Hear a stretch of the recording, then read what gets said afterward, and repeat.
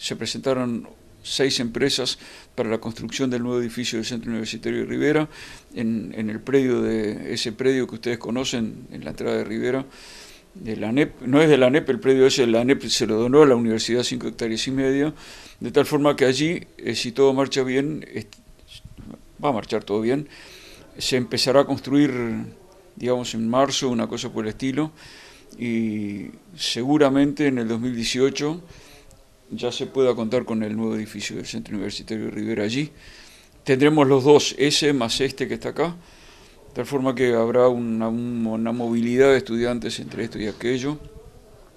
También la UTEC comenzará a construir allí, o sea que eso se va a transformar en, realmente en un centro interinstitucional este, ediliciamente, digamos así. Contando con los dos centros, ¿ya tienen idea de cómo se va a dividir las carreras, si algunas estarán allá, otras acá, o cómo va a funcionar? No, no es que algunas carreras se hagan allá y otras acá, sino que allí será dependiendo del número de estudiantes.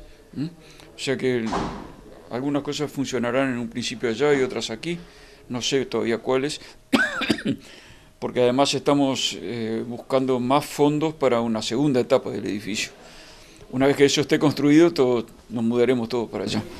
Pero eso será en los próximos cuatro o cinco años.